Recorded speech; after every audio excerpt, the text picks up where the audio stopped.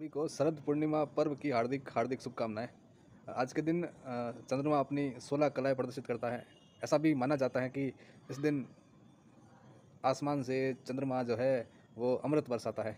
तो सभी लोग खीर बनाते हैं और छत पर रखते हैं ताकि वो सारा अमृत उस खीर में आ जाए और वो खीर खाने से कुछ ऐसा भी मान्यता है कि साल भर जो है, व्यक्ति का परिवार का, सबका शरीर निरोगी रहता है, सभी स्वस्थ रहते हैं।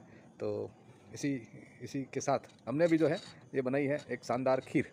और ये खीर जो है आज, इस खीर के माध्यम से जो है मैं आपको एक खीर बताना चाहूँ तो ये खीर है। और आज जो है अमृत महोत्सव के रूप में इन्हीं चंद्रमा के साथ इस खीर को हम रखने वाले हैं। आप सभी देख पा रहे होंगे, ये जो पीछे आज चंद्रमा आपको दिख रहा है, ये शरद पूर्णिमा का चाँद है। तो अमृत बरसने वाला है। आप सभी भी खीर बनाएँ और आज के दिन ज़रूर अवश्य रखें चंद्रमा के साथ छत पे, ताकि आप सभी स्वस्थ रहें, निरोगी रहे।